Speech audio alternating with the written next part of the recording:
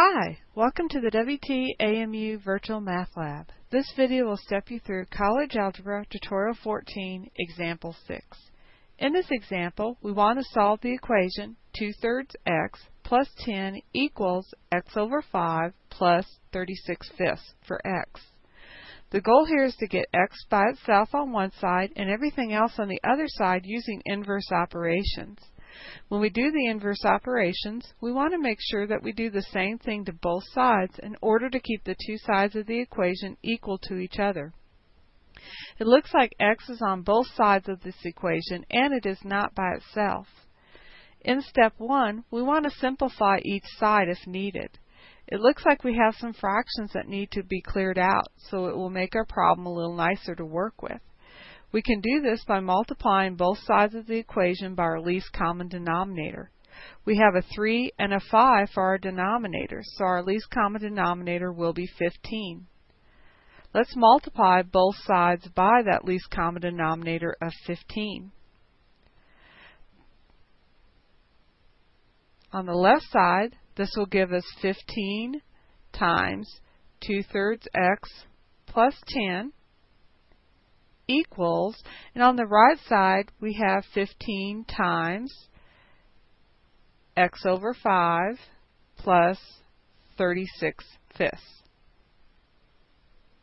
On the left side, when we multiply the 15 times 2 thirds x, we get 10x, and 15 times 10 is 150. On the right side, when we multiply the 15 times x over 5, we get 3x, and 15 times 36 fifths gives us plus 108.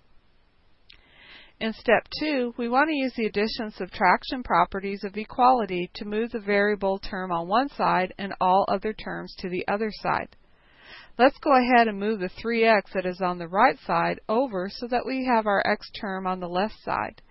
What is the inverse of add? Subtract. So we need to subtract 3x from both sides. So we'll have 10x plus 150 minus 3x on the left side equals 3x plus 108 minus 3x on the right side.